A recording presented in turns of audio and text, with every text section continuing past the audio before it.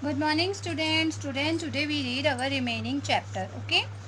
Directions which face each other are called opposite directions. We use compass to find directions. Look at this picture. This is compass. Okay.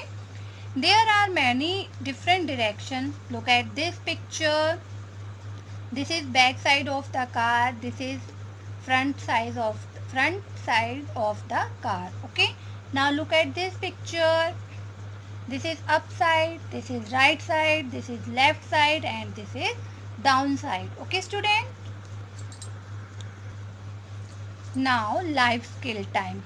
Look at this picture very carefully okay? Study the map and tick the correct option. The park is to the left or right of the church.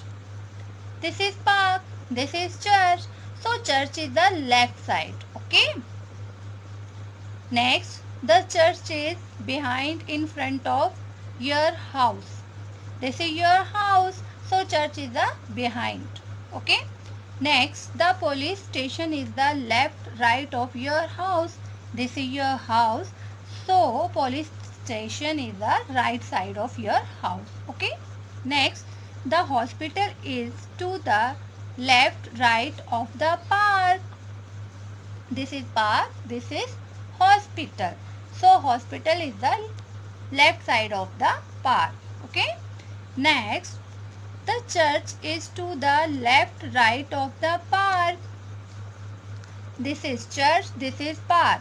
So church is the right side of the park okay student? Okay student today we read half chapter and remaining chapter we will read tomorrow. Now time to say bye. Bye bye student. Have a nice day